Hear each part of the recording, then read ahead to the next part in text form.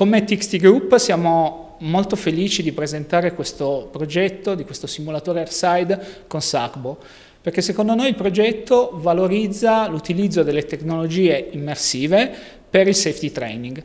perché in questo modo riusciamo a eh, migliorare del, del, training in ambito del safety, di sicurezza, dove eh, è assolutamente critico mettere l'operatore alla prova in situazioni che magari in un training classico non possono essere utilizzate. Quindi diciamo che per noi è un vero potenziamento del training for, for safety classico.